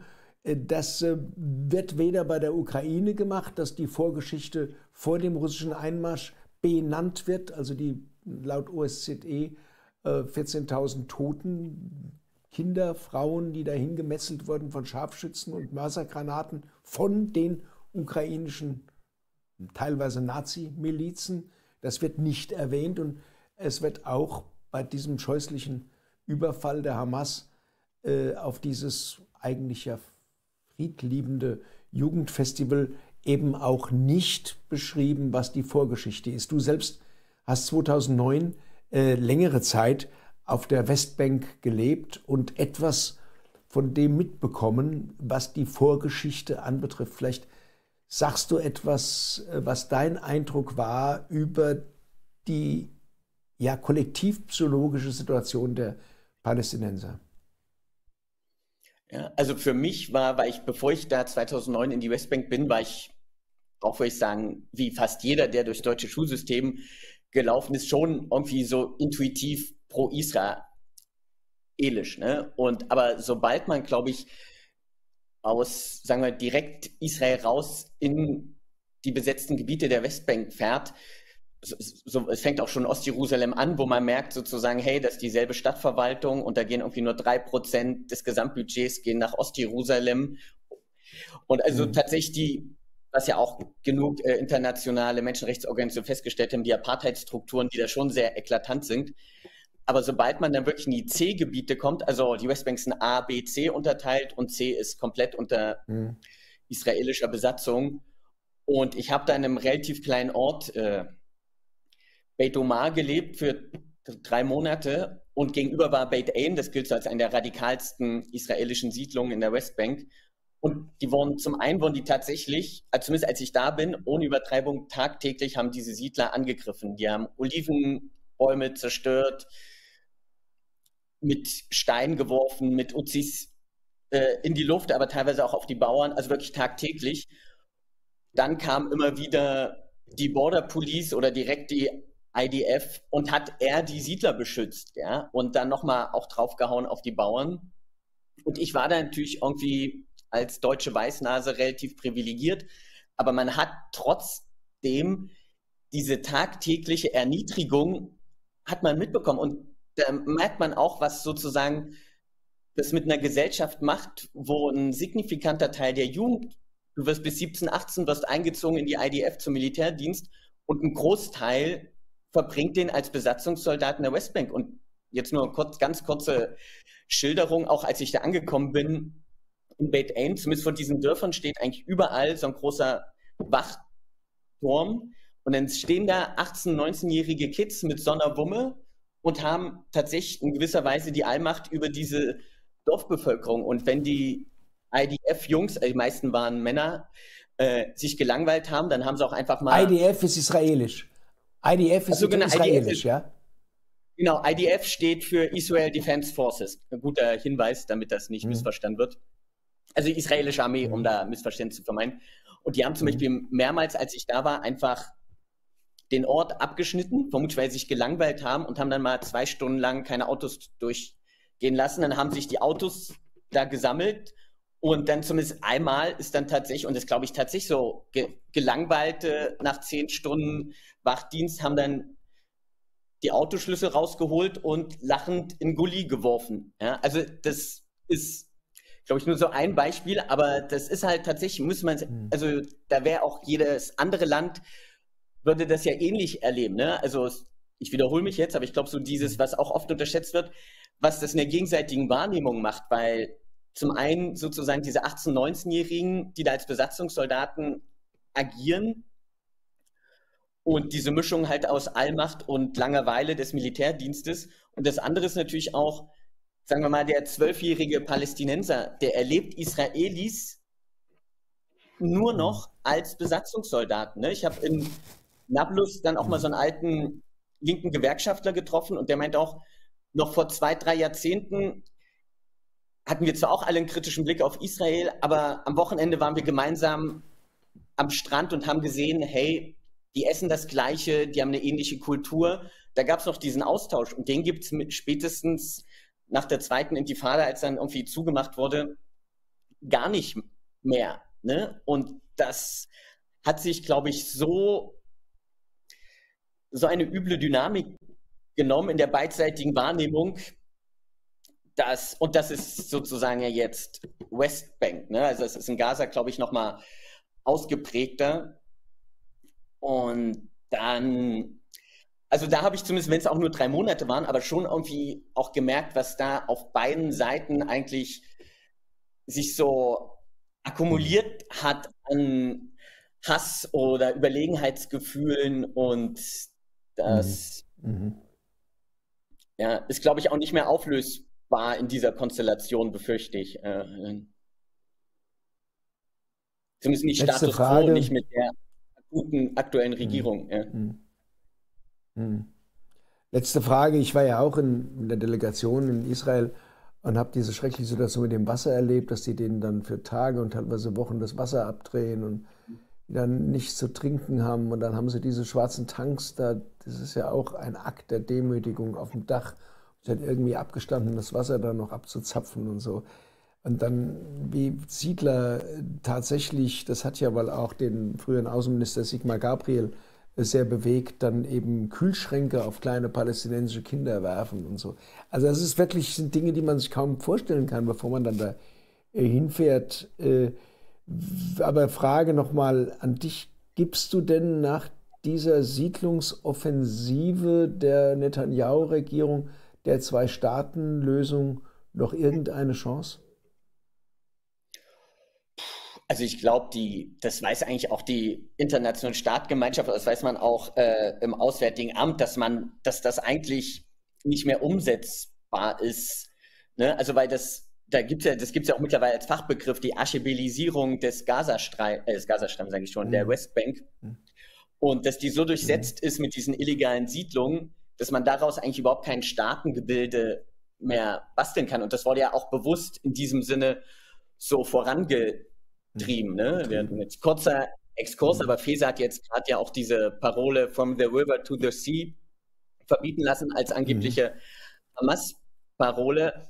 Aber de facto ist das, steht das natürlich so vom Jordan bis zum Mittelmeer als Ziel im Likud-Parteiprogramm äh, unter Netanyahu, na, Netanyahu. Also worauf ich hinaus will, dass da natürlich sozusagen ganz gezielt daran gearbeitet wird, dass die niemals umsetzbar wird. Also zumindest was die aktuelle mhm. Regierung angeht. Und ich sehe da weder politisch noch wirklich rein geografisch gesehen eine mhm. reale Chance, dieses Zwei-Staaten-Modell, zumindest wie es mal angedacht war, umzusetzen. Also da muss man, glaube ich, gedanklich das nochmal ganz neu fassen.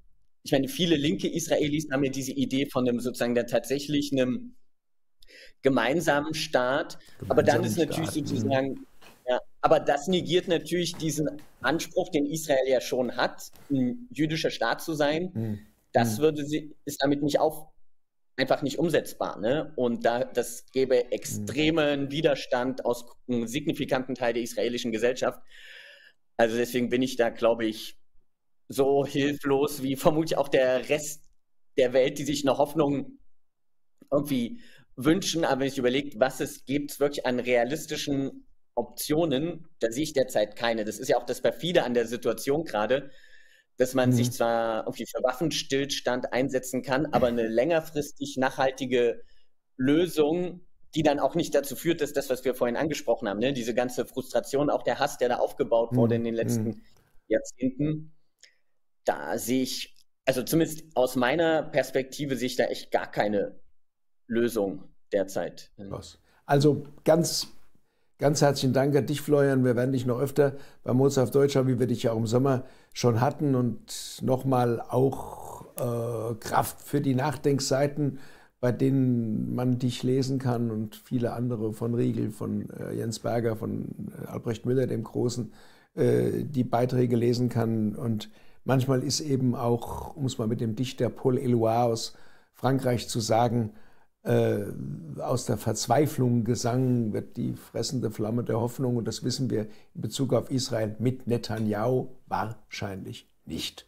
Herzlichen Dank an dich und äh, deswegen ist es so, so, so, ja, so degutant, dass unsere deutsche Politik Netanyahu so stützt, denn er ist ein Sargnagel für alle Friedensbemühungen in Israel. Und jetzt werden wir zu einem Lied kommen. Da muss ich was zu sagen. Das haben wir in einer Woche aus dem Boden gestampft. Singen tut es der großartige Helmut Schleich. Helmut Schleich könnt ihr googeln, ist ARD-Kabarettist, hat noch eine eigene Sendung, Schleich Fernsehen heißt die, ist auch ein großer Parodist, aber eben auch ein äh, Satiriker vor dem Herrn. Und ich habe mit äh, Michael Letz und ihm zusammen ein Lied gemacht, was auch mobilisieren soll für die Demo am 25.11. Und es nimmt einen Satz von Helmut Schmidt, dreht ihn auf den Kopf, aber dann in der letzten Strophe wieder auf die Füße zurück. Und ich hoffe, dass ihr mit dem Video, was wir bis heute Nacht erarbeitet haben, äh, vielleicht zufrieden seid und auch etwas, ja, nachdenklichen Genuss damit habt, denn es soll eben auch äh, sowohl in der Ukraine als auch im Gaza die Chance der Diplomatie und des Verhandelns unterstützen. Jetzt kommt der Song Nie wieder Krieg.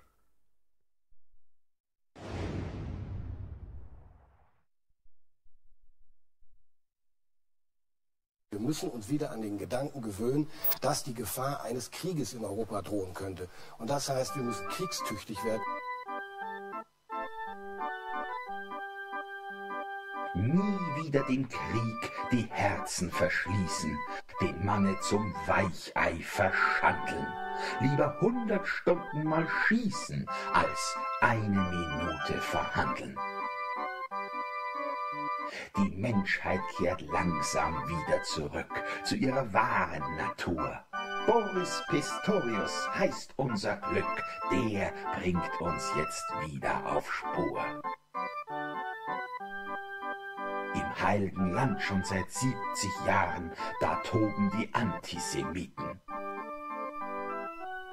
Wir Deutsche waren immer schon darin erfahren, auf welcher Seite wir stritten.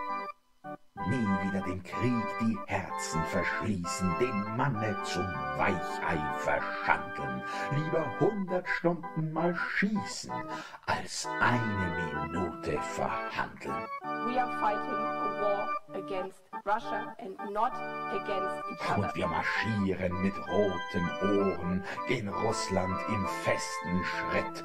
Und alle, die schon mal vor Moskau froren, die frieren im Geist in unseren Reihen mit. Die Schlachtfelder sind von Van Gogh, von Richard Wagner das Singen. Krieg bist das wahre Kunstwerk, doch Krieg, du, der Vater aller Dinge. Nie wieder dem Krieg die Herzen verschließen, den Manne zum Weichei verschandeln, lieber hundert Stunden mal schießen, als eine Minute verhandeln. Hing da nicht ein Bild, ganz ausgebleicht, einst in meiner Gartenhütte? ein Spruch, ein Gesicht. Wie ging das noch gleich? Hieß der nicht Helmut Schmidt? Lieber hundert Stunden umsonst verhandeln, als eine Minute zu schießen. Lieber Menschen in Menschen verwandeln, nie wieder Krieg, nie die Herzen verschließen. Wer noch einmal ein Gewehr in die Hand nehmen will, dem soll die Hand abfallen.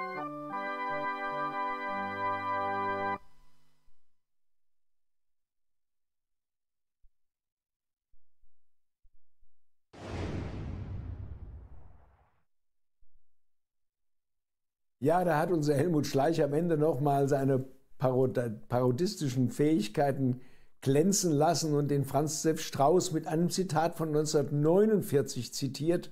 Wer noch einmal eine Waffe anfasst, dem soll die Hand abfallen. So wie bei den Grünen, so wie bei vielen in der SPD, so wie übrigens auch in der CDU sich die Meinungen dann mit der Zeit immer mehr der NATO und der Wiederbewaffnung angeglichen haben. Das nimmt er hier, wie ich finde, in seiner wunderbaren Art auf die Schippe. Ich hoffe, es hat euch gefallen. Wir werden es auch beim nächsten Mal nochmal bringen als Mobilisierung für die Kundgebung und Demonstration am 25. November. Und jetzt haben wir einen Anrufer hier und das ist ich ja ein Anrufer auf Ralf aus Schleswig-Holstein. Ja, guten Tag, moin Herr Dehm. Ich habe eine Frage Hi. zum Thema, das mehrmals in der Sendung angesprochen wurde. Ähm, warum ist das denn so, dass die Medien in Deutschland nicht objektiv berichten wollen? Gerade Deutschland setzt sich ja in der ganzen Welt für die Pressefreiheit ein. Warum klappt es im eigenen hm. Land nicht? Vielen Dank, Herr Lehn. Mhm. Danke Ihnen auch für die Frage. Das ist eine komplexe Frage und braucht auch eine komplexe Antwort. Erstens, was vielleicht sozialphilosophisches, wenn Bewegung in der Gesellschaft ist und Druck im Kessel, dann werden die Journalisten auch besser. Also mit unserer Demonstration damals gegen den Vietnamkrieg plötzlich kippte Henry Nannen und der Stern und waren auch gegen den Vietnamkrieg. Das war bis dato nicht so, das ist erst durch die großen Demonstrationen so gekommen. Äh, und so ist das auch heute. Also ein Stück weit braucht es gesellschaftliche Aufklärung. Zweitens, man muss auf die Rolle der Geheimdienste bei den Medien hinweisen. Ich habe immer wieder das tolle Buch von dem Sozialdemokraten Erich Schmidt-Enbum, der Bundesnachrichtendienst und die Medien hingewiesen. Äh, ich denke, das gibt es noch zu eBayen und zu kaufen. Ein tolles Buch, in dem darauf hingewiesen wird, wie die Geheimdienste in die Medien eindringen, auch in die Parteien eindringen. Ich selbst habe es leidend am eigenen Leib erfahren, auch in die Theater und Verlage eindringen und dann eben mit diesen Wikipedia-Einträgen, die meistens bei Sarah Wagenknecht, bei vielen anderen immer schlecht zurecht gemacht werden, auch von Geheimdiensten, da haben die erheblichen Einfluss drauf, dann Angst und Schrecken verbreiten und Menschen einschüchtern. Und drittens ist es wirklich auch eine Frage, wer wird eigentlich noch als Journalist genommen? Wenn Sie als Journalist sich irgendwo vorstellen, ich nehme mal die Berliner Zeitung raus, ich nehme auch mal aus gewissen Gründen die Fuldaer Zeitung raus, ein paar andere. Wenn Sie sich dort vorstellen bei der ARD, beim ZDF oder bei Sat1 und Sie sagen irgendetwas, was Verständnis für die Palästinenser haben könnte, sind Sie draußen aus dem Bewerbungsgespräch und schon vor dem Bewerbungsgespräch. Das heißt, die Negativselektion greift dort ein, wo sich die Menschen schon bewerben. In der Zeit, in der ich mein Volontariat im Hessischen Rundfunk gemacht habe, für Kuhlenkampf gearbeitet habe und dann in der Unterhaltungsabteilung der ARD, dann später fürs ZDF, war es so, wenn der eine eine eigene Meinung hatte und gut in seinem Handwerk war, also einigermaßen Unterhaltung konnte, Unterhaltungsabteilung, dann wurde der besonders gerne genommen. Wenn Sie heute gut in Ihrem Fach sind und eine eigene Meinung haben, werden Sie besonders ungerne genommen. Also das sind die drei Hauptgründe. Dann gibt es gewiss noch andere Gründe. Äh, bei den öffentlich-rechtlichen ist es ja so, dass auch die ähm, Entscheidungsorgane von den Parteien besetzt werden und ähm, von politischen Organisationen, die teilweise scheintot sind. In den Aufsichtsräten von ZDF und ARD sitzen dann auch Organisationen rum, die überhaupt keine echte äh, gesellschaftliche Wirkung mehr haben. Die entscheiden dann auch darüber, wer genommen wird und wer nicht oder wer zumindest in der ARD oder im ZDF Karriere macht.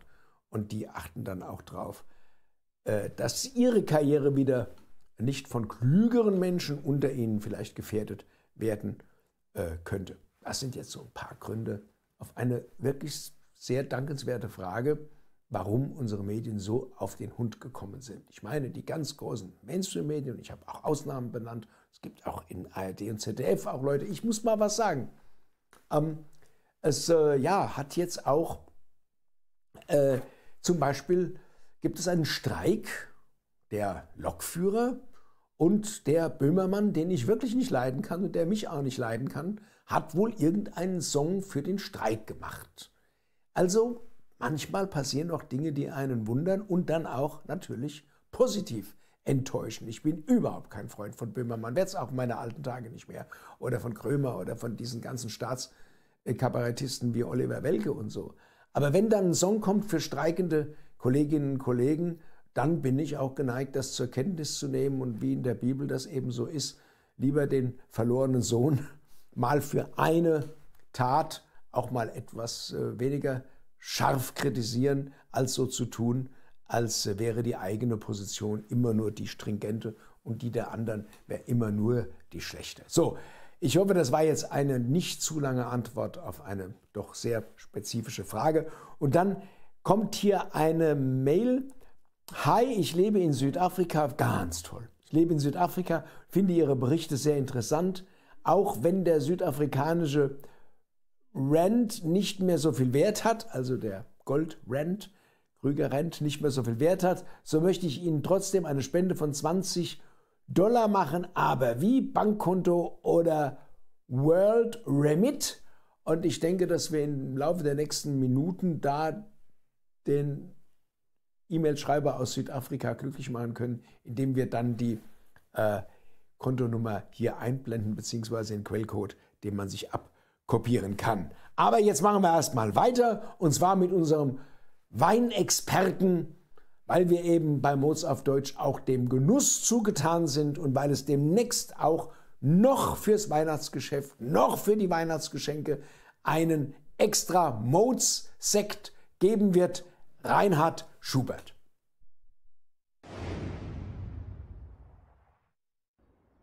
Guten Tag, liebe Zuschauer. Das heutige Thema von Vinophile Streiflichter ist Klimawandel und seine Folgen.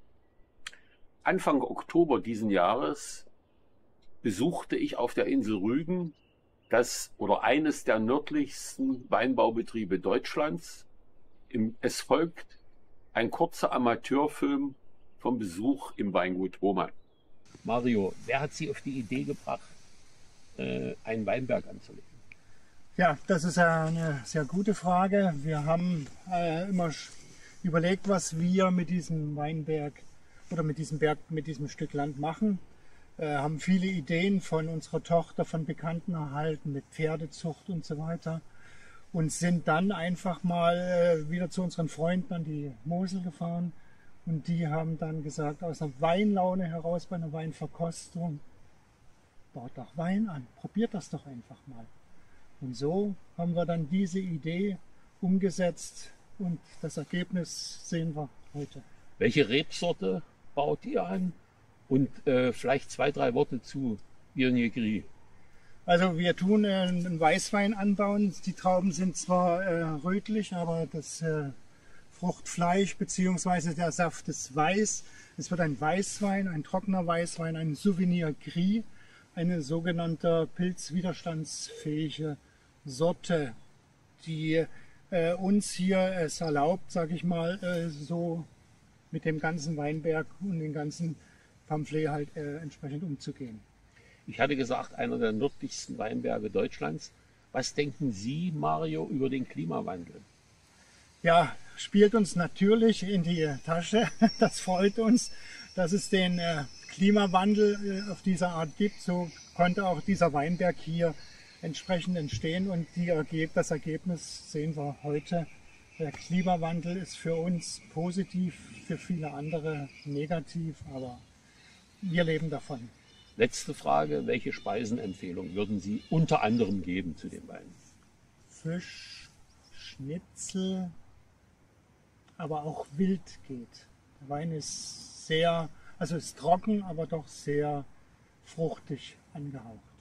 Ja, vielen Dank und weiterhin viel Erfolg. Vielen Dank. In der mittelalterlichen Wärmezeit von 900 bis 1250 war es circa zwei Grad wärmer als heute Damals wurde Wein an der Ostsee angebaut und die Anbaufläche in Deutschland war um ein Mehrfaches so groß wie heute. Das sieht man zum Beispiel, wenn man in vielen Ortschaften Straßennamen sieht wie Weinbergsweg etc., obwohl es im weiten Umkreis keinen Weinberg gibt. Mit der Abkühlung nach 1250 wurde der Weinanbau schrittweise reduziert in Deutschland. Eine drastische Reduzierung um ein, auf einen äh, kleinen Teil der bis, bisherigen Anbaufläche erfolgte nach dem Einschleppen der Reblaus und des Mehltaus aus Nordamerika, was zur Verwüstung weiter Weinanbauflächen führte. Wir probieren jetzt den Sauvignon, Gris vom Weingut Hohmann. Eine pilzwiderstandsfähige Rebsorte, die im Zusammenhang mit dem Klimawandel es ermöglicht, dass man so weit im Norden äh, Wein anbaut. Sehr aromatisch.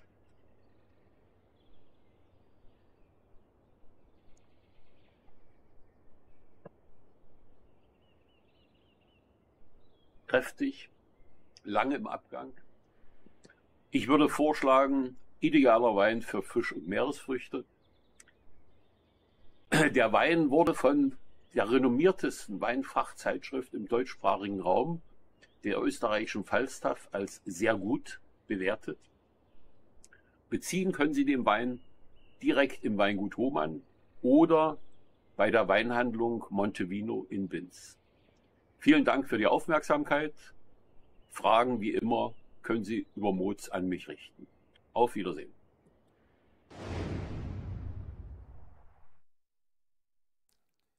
Ja, und Reinhard hilft uns dann auch, unseren Moz-Sekt rauszusuchen und dann für euch zu einem prima Spitzenpreis äh, dann auch ins Weihnachtsgeschenke äh, Geschäft reinbringen zu lassen. Das ist übrigens kein von Reinhard Schubert empfohlener Wein. Das ist mein Ebbelmoy aus Frankfurt im Frankfurter typischen Bembel. Und ich trinke einen Schluck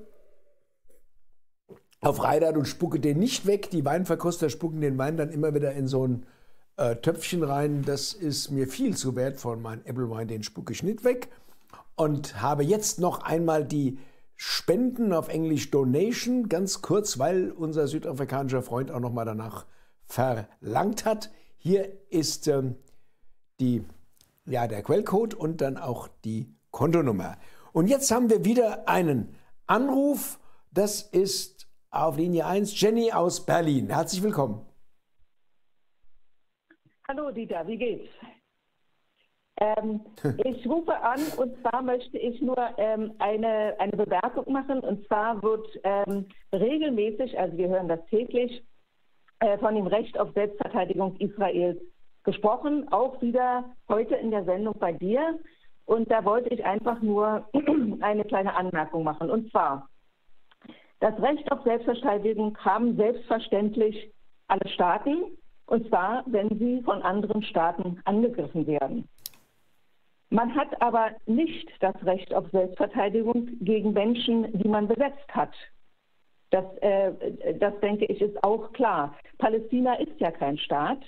Es ist nach internationalem Recht ein besetztes Land. In UNO-Resolutionen spricht man zum Beispiel von Gaza, von der Westbank, von Ostjerusalem, von besetzten palästinensischen Gebieten. In besetzten Gebieten entstehen den Besatzern aber entsprechend der dritten und vierten Genfer Konvention bestimmte Pflichten. Sie dürfen, zum, äh, sie dürfen zum Beispiel auch in den besetzten Gebieten keine Siedlungen gebaut werden von den Besatzern. Es darf äh, der Zugang zu Wasser nicht beschränkt werden. Die Menschen in besetzten Gebieten dürfen nicht wie Untermenschen behandelt werden. Na, laut internationalem Recht haben also Sie das Recht auf Widerstand. Sie haben das Recht auf Selbstverteidigung. Das wollte ich nur mal gesagt haben, um äh, bestimmte Sachen äh, zurechtzurücken. Äh, manchmal hört man zu oft etwas und dann fängt man an, es selbst zu glauben. Ich denke, wir müssen manchmal auch diese Dinge hinterfragen und darum habe ich angerufen, um das mal irgendwie klarzustellen. Ja, ich danke sehr für die äh, Hinweise, will dennoch dazu sagen, dass natürlich auch, wenn äh, es aus besetzten, auch widerrechtlich oder mit miesen sozialen Bedingungen besetzten Gebieten Raketen abgeschossen werden oder Menschen massakriert werden, wie das bei diesem äh, wahnsinnigen Überfall der Hamas passiert ist, es auch eine Möglichkeit oder ein, ein moralisches Recht gibt, äh, einen Gegenschlag zu führen. Nur eben die Verhältnismäßigkeit dessen, dann mit Bombern den Gaza platt zu machen, dann zwei Drittel der Menschen da aus ihren Häusern zu vertreiben, teilweise Krankenhäuser zu bombardieren, das schafft nur den Wurzelgrund für neuen Hass und für neue Unlösbarkeiten dieses Konflikts. Deswegen denke ich, am Anfang waren die äh, Verständnisbereitschaften äh, in Europa, in anderen Ländern, auch in den USA sehr viel größer als jetzt nach diesem wirklich mörderischen äh, Feldzug, den die israelische Armee hier durchführt und ob die wirklich am Ende der Hamas schadet oder nicht, der Hamas neue äh, Potenziale zuspielt, das ist dann eben auch abzuwarten. Jetzt kommt Gerhard aus Frankfurt als Anrufer. Ja, hallo Dieter. Ich weiß nicht, ob du mich noch Hallo, äh, an mich erinnerst, Gerhard Weber, vielleicht erinnerst du dich noch ein bisschen an den Weber-Keller, da wollte er auch mal rein. Ja, ja, ja, ja. Ja, grüß dich. Hallo, ja. mir geht es halt darum, dass es oft so ist, es wird immer auf die Politik geschoben, die den Frieden da machen muss. Aber mhm. da stecken meiner Meinung nach mhm. wirklich riesige Wirtschaftsinteressen dahinter. Äh, ich habe mal irgendwo gelesen, in Russland wissen die gar nicht genau, wie viele Ressourcen die an Öl haben und Gas und was da noch alles da ist. Man lässt das weg. Mhm. Auch diese ganze Pipeline-Sache ist ja gemacht worden, um den USA das Gas abzukaufen. Ich denke mir halt, äh, folgende mhm. Sache wäre meine Frage. Seit 1914 war Russland immer die Begierde des deutschen Imperialismus. Das kommt mir viel zu mhm. wenig durch. Ich denke halt eins, hinter dieser Politik unserer Bundesregierung stehen die Banken, mhm. die ein ungeheures, aufgeblähtes Geldsystem haben, das nicht gedeckt ist. Das führst du ja auch aus mit dem, glaube ich, mit dem Professor Karl, die ja dann Riesenprobleme kriegen, wenn das auf eine Goldwährung umgestellt wird. Ähm, ich würde gerne mal wissen, was du darüber denkst und ob man das vielleicht in eure Sendungen vielleicht auch ein bisschen mehr herausstellt, was eigentlich der Grund ist, die Sowjetunion als Eroberung, seit Jelzin weg ist, geht es nur noch um die Flocken. Da rein zu marschieren, mhm. da reinzukommen, die Osterweiterung der NATO und, und, und. Ich glaube, jetzt bin ich fertig, ich rechne mich zu arg auf.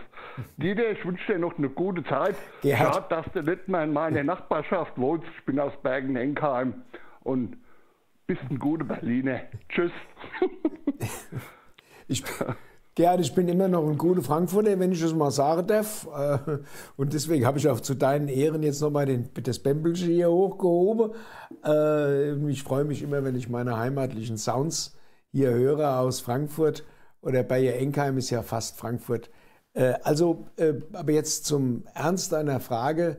Äh, Thorsten Teichert macht ja auch einen Blog, nennt das Follow the Money, also folgt den materiellen Interessen. Wenn ihr eine Frage an die Menschenrechte oder an die Politik habt, und da hast du das Richtige gesagt, natürlich, wenn man über darüber redet, wie hier die Deutsche Bank und andere immer den Feldzug geplant hatten gegen die Sowjetunion, gegen Russland, da stand natürlich immer im Vordergrund Öl und Gas. Wie kommt man da dran und wie kommt man an billige Arbeitskräfte und macht die zu Sklavenarbeitern und presst die aus für Profite? Also das unterscheidet uns ja von den Rechten, die äh, auch Frieden mit Russland wollen. Und da freue ich mich ja, wenn rechte Demokraten wie Peter Gauweiler auch äh, Frieden mit Russland wollen. Aber das unterscheidet uns, dass wir immer versuchen, die ökonomischen Interessen unter dem Gerede hervorschimmern,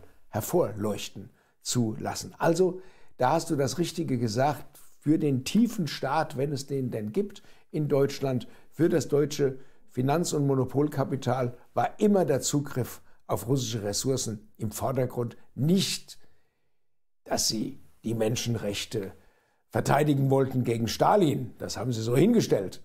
Damals war das schon, ging es auch um Menschenrechte. Also Adolf Hitler wollte den Menschenrechten bringen gegen Stalin, sondern es ging natürlich um Öl und Gas. Und wer heute über den Konflikt mit der Ukraine und mit Russland spricht, der muss natürlich auch sehen, was heißt Fracking-Gas aus den USA und was heißt preiswertes, konkurrenzlos preiswertes Gas aus Russland über Nord Stream 2. Und dann wird auch gefragt werden müssen, wer hat Nord Stream 2 in die Luft gesprengt und aus welchem Grund und mit welchem materiellen Interesse. Und so ist es auch beim Gazastreifen.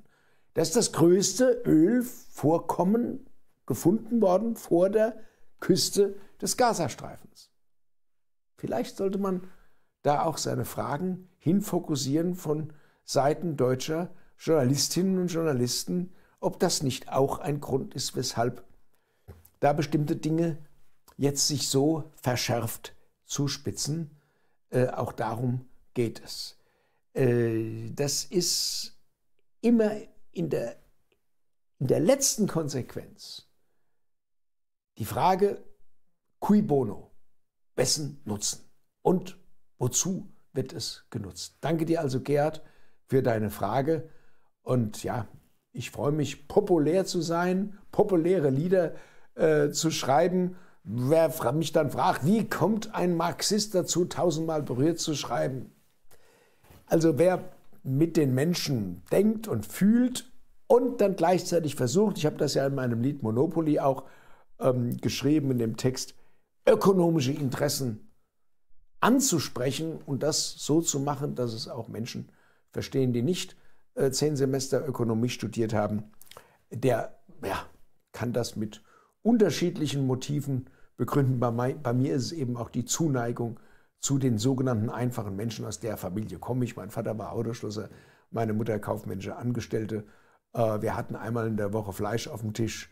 Äh, also ich weiß schon ein bisschen, äh, wie die Situation da ist. Und diese Menschen sind für mich viel wichtiger als Eliten äh, in dem Prozess des Friedens, der Friedensbewegung äh, mit einzubeziehen. Und deswegen habe ich mich gefreut, den wunderschönen Bayer Engheimer Frankfurter Dialekt vom Gerhard, Gerhard Weber äh, gehört zu haben. Äh, und wenn ich in Frankfurt bin, Gerhard, schickst du mir vielleicht mal deine Telefonnummer, dann trinken wir nochmal Äppelmäusche, dann zusammen. Jetzt sind wir am Ende der Sendung und ich freue mich. Ich danke allen, die hier teilgenommen haben. Heute waren es zwei Gäste. Beim nächsten Mal werden wir einen Überraschungsgast haben aus der Führung der Streikbewegung. Und wir werden da auch, glaube ich, wieder tolle Gäste haben. Guckt euch auch die vergangenen Clips an. Und alle Clips von heute werden in den nächsten Tagen einzeln veröffentlicht, sodass ihr euch anschauen könnt. Also, Mods auf Deutsch, herzlichen Dank für euch. Alles Gute.